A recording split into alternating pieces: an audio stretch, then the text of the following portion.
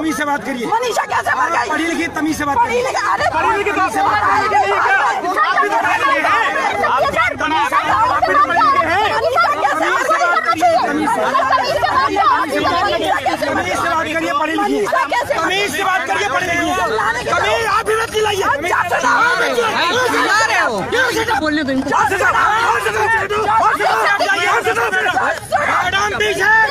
Video में जो महिला हैं वो हैं सीमा कुशवाहा जो कि वकील रही हैं निर्भया केस में और जिनसे वो बहस कर रही हैं या जो इनसे बहस कर रहे हैं वो हैं जेपी सिंह जो कि एडीएम है हाथरस के सीमा कुशवाहा मनीषा वाल्मीकि के पीड़ित परिवार से मिलने पहुँची थी लेकिन एडीएम साहब ने या कहो कि प्रशासन ने अपनी मुस्तैदी दिखाते हुए उन्हें उस पीड़ित परिवार से नहीं मिलने दिया जिसके लिए उनकी उस अधिकारी से बहस होती है और वो अधिकारी उन्हें मर्यादा में रहने का पाठ पढ़ा रहे हैं बता रहे हैं कि किस तरीके से अधिकारियों से बात की जाती है बोलने दो इनको मैडम पीछे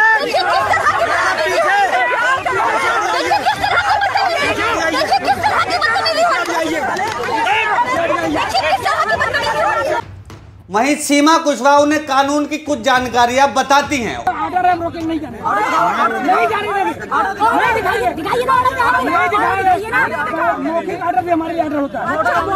बिल्कुल।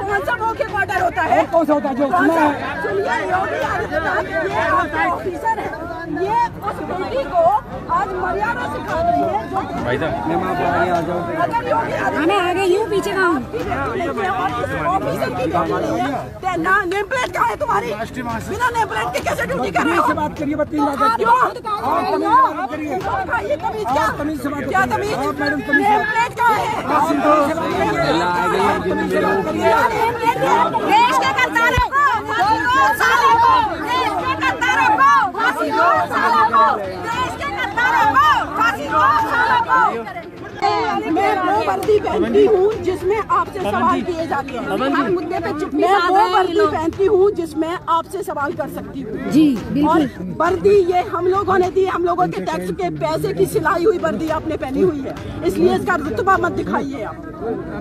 और वही चीज़ इस देश में आगे आने वाले समय में लागू आप एक महिला है तो आपको तो ये दर्द पहले समझना चाहिए। नहीं ये महिला नहीं है ये सिर्फ़ एक ऑफिसर है ड्यूटी कर रही है। ये एक महिला नहीं है। और मुझे पता है होना चाहिए। इसी डिपार्टमेंट की एक महिला सीनियर ऑफिसर से जब उसका हेरसमेंट होगा तब फिर वो महिला का तबका लेकर के आती है। बहन जी वीडियो वायरल देखे नहीं है क्या? पुलिस प्रशासन के साथ भी होते हैं। होते कर रहा है। हैं।